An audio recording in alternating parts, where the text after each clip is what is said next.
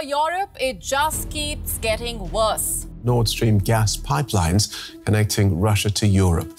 Scientists recorded explosions in the Baltic Sea before detecting three simultaneous leaks. And this comes at a tipping point time for Vladimir Putin's war in Ukraine. Russia's Nord Stream gas pipelines to Europe just blew up.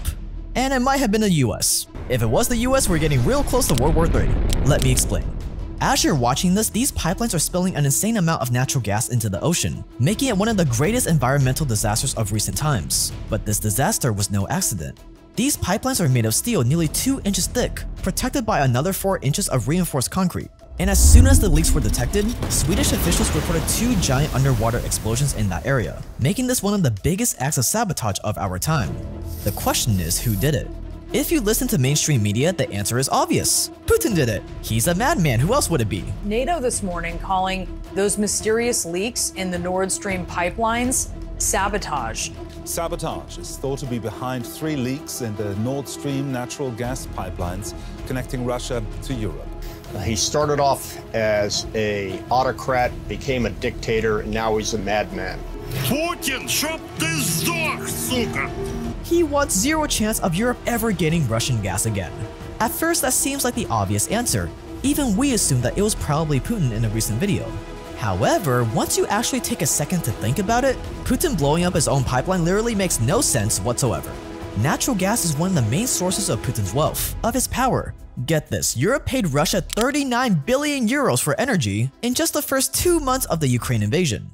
That is twice as much as the aid they gave Ukraine and a lot of that was thanks to the Nord Stream pipeline. These pipelines were the last piece of leverage Putin had over Europe to get them to stop supporting Ukraine. He already shut off the pipelines, why would he need to blow it up? Now, even if the EU wanted to come crawling back to Putin, begging for natural gas in exchange for giving Putin Ukraine, the EU wouldn't be able to because the pipeline has been blown up. But you know who would benefit from the Russian pipelines blowing up? America. Think about it, no pipeline means Putin has less power. It means he has a higher chance of losing in Ukraine. It means Europe has to go to another country that has a lot of natural gas to sell, a country like America. And the US knows this. In fact, here's what Biden had to say about Russia's gas pipelines back in February. If Russia invades, uh, that means tanks or troops crossing the, uh, the, the, border of Ukraine again. Then uh, there will be uh, we there will be no longer a Nord Stream 2. We, we will bring an end to it. We will bring an end to it, and eight months later, an end has been brought to it. And right after the explosions, a former Polish foreign minister who's got a picture with him and Biden together on his Twitter banner tweeted out three simple cryptic words. Thank you, USA. That tweet has now been deleted. Oh, and what do you know? The day after the pipelines were sabotaged, would you look at that, a new pipeline was unveiled that carries non-Russian gas to Europe. How convenient, right? Man, imagine just how nice it would be to have your main competitor magically blow up the day before you launch your new business. Stay dangerous and this is the Nord Stream sabotage.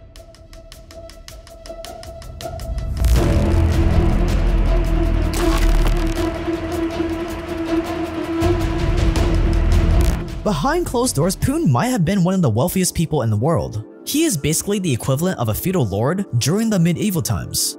Lords were the wealthy, powerful elite that owned all the land back in the day. Think about it, Putin's got a ton of real estate, he has his own army of soldiers protecting him. You might as well call him Lord Putin. But lucky for you, you too can be called Lord whatever your name is, thanks to established titles.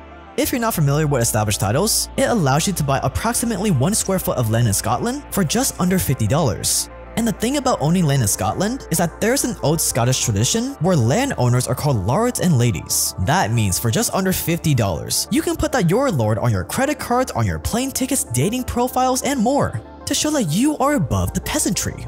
To be clear, this is not an official lordship, but it's still pretty cool. You're gonna get a certificate, it will feature a unique plot number for your plot of land in Scotland, and if you act fast, you can actually get your plot of land near mine, so we can be lords together.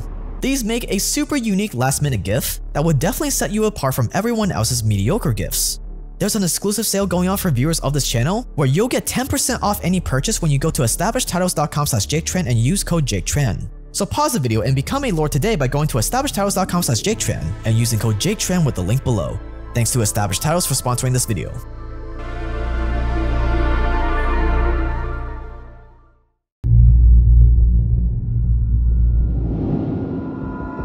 When looking at the Nord Stream pipeline sabotage, it's important to remember that America is no stranger to sabotaging other countries. Launching coups, funding revolutions, sabotaging countries, toppling foreign leaders, launching psychological warfare campaigns on foreign populations is not the exception for the CIA, but the norm.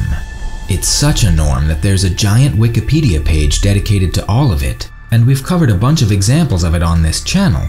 And the powers that be in America that orchestrate all these interventions have been very open about their intentions towards Russia and Russian natural gas. Mr. Putin, But to really understand just how far the US is willing to go to cripple Russia, we have to go back in time to 2014 to the Ukrainian Revolution.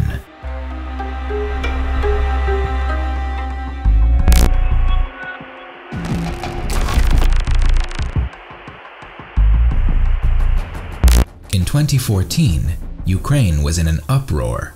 Just a few months before, the Ukrainian president at the time, Yanukovych, turned down a business deal with Europe when Russia made him a better offer. Protests on either side erupted all around the country and things got violent. Over a hundred protesters were dead by February, and would you look at that? It looks like the chaos was engineered, or at least supported by, none other than the US. And it makes sense. Why not meddle in Ukraine at this fragile time in their history to make sure they lean more towards the West? And it worked. Yanukovych ended up fleeing the country, and the new Ukrainian government that took power was pro West. And that's where Condoleezza Rice comes in. Condoleezza Rice was America's national security advisor in 2001 and Secretary of State under George W. Bush. So she's got a lot of experience with spreading democracy all over the world.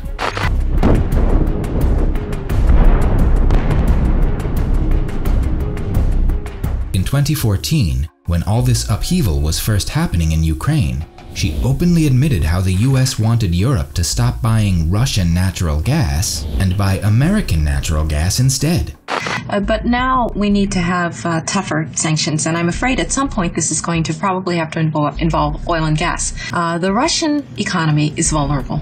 80% of Russian exports are in oil, gas, and minerals. Uh, people say, well, the Europeans will run out of energy. Well, the Russians will run out of cash before the Europeans run out of energy. And I understand that it's uncomfortable uh, to have an effect on business ties in this way. Uh, but this is one of the few instruments that we have. To, over the long run, you simply want to change the structure of energy dependence. You want to depend more on the North American energy platform, the tremendous bounty of oil and gas that we're finding in North America. You want to have pipelines that don't go through Ukraine and Russia. So the US was involved in the 2014 Ukraine revolution, and here we have America's national security advisor admitting that we know Russia's economy is dependent on natural gas and that we want to change the structure of energy dependence in Europe. To have Europe depend more on the American energy platform. That you want to have pipelines that don't go through Ukraine and Russia. Oh, interesting. There is not a pipeline that goes through Ukraine and Russia anymore. You simply want to change the structure of energy dependence. You want to have pipelines that don't go through Ukraine and Russia. But it doesn't stop there. This is Victoria Nuland. She is also very well versed in the art of spreading democracy across the globe.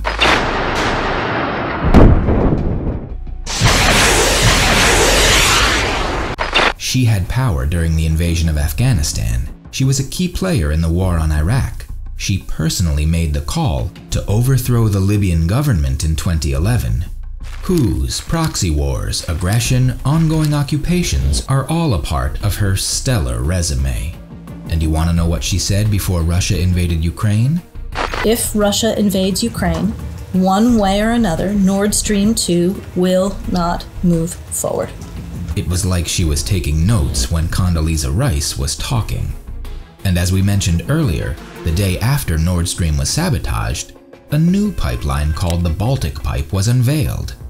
This pipeline is not Russian and doesn't carry Russian natural gas. Instead, it was built by Norway, Poland, and Denmark starting back in 2013 and runs through around the same area as the Nord Stream pipelines did. On top of that, it was even finished a month ahead of schedule. Very convenient indeed. This means that Norway, Poland, and Denmark are getting the economic power that Russia once had. Even the Secretary of State, Antony Blinken, said after the pipeline was destroyed that this was a huge victory for the US, even though it was absolutely something the US did not do. Quote, it's a tremendous opportunity to once and for all remove the dependence on Russian energy and thus take away from Vladimir Putin the weaponization of energy as a means of advancing his imperial designs. End quote.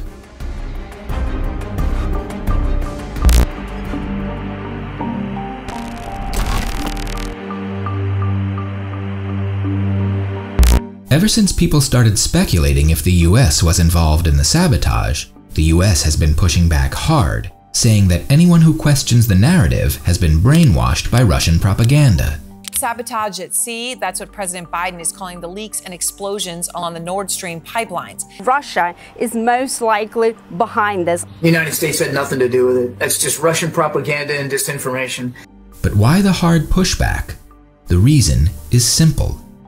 It's because this is literally an act of war, and because it might be true. Remember that colonial pipeline on the east coast of America that was hacked back in 2021? Remember how frightening that was for the US to have a critical part of their infrastructure compromised? Yeah, now imagine instead of hackers attacking the colonial pipeline, it was Russia. And instead of using ransomware, they used bombs. Yeah, that would be the start of World War III. That's why in this case, the US has to do everything in its power to distance itself from the Nord Stream sabotage. Because if word gets out that the US was involved somehow, why shouldn't Putin be able to sabotage America's infrastructure? Why shouldn't Putin be able to bomb our pipelines, attack our electricity grid, cut our internet cables? After all, it was America that started it. And then boom, America's proxy war against Russia now turns into a hot war. So far, common sense points to Putin not being the one who blew up the pipeline, and there's no direct evidence that the US was involved. But what do you think? I guess you have to ask yourself, if you were in Putin's shoes, would you blow up your own pipeline? Let us know in the comments below. Remember that long list of all the coups and regime changes the US has orchestrated? Well, there was one coup that started it all. This coup was so effective that at that time, it was one of the most successful CIA operations ever. But it was also the coup that planted the seeds of Middle Eastern terror. So many terror events, all the wars and chaos in the Middle East, they can all be traced back to this one coup that the CIA orchestrated. If you ask the government, they'll say it was to stop communism, to spread freedom, but in reality, it was for one thing and one thing only oil. This was the coup that started America's love affair with Middle Eastern oil. We're talking about the Iran coup of 1953, and it was a bloodbath. Unfortunately, talking about terror events and tragedy and all the other stuff the CIA was having fun with would definitely get demonetized on YouTube. So we've released a private documentary on the Iranian coup and the roots of Middle Eastern terror, available only to members of this channel. Members have been loving it, and it's personally one of our favorite private documentaries. All you have to do to watch is scroll down and click that join button below. When you join, you'll get instant access to this private documentary, new ones coming out every single month, and access to all our previous documentaries as well, like our newest one on the profitable business of vaccines. Everything that society will never teach you about how the world works. And there's a refund policy too, unlike most YouTube memberships. So if you join and you don't think it's worth it, email us within your first month of joining for the first time and we will personally refund you for your first month. After your first month, there is no refund. So scroll down and click that join button now.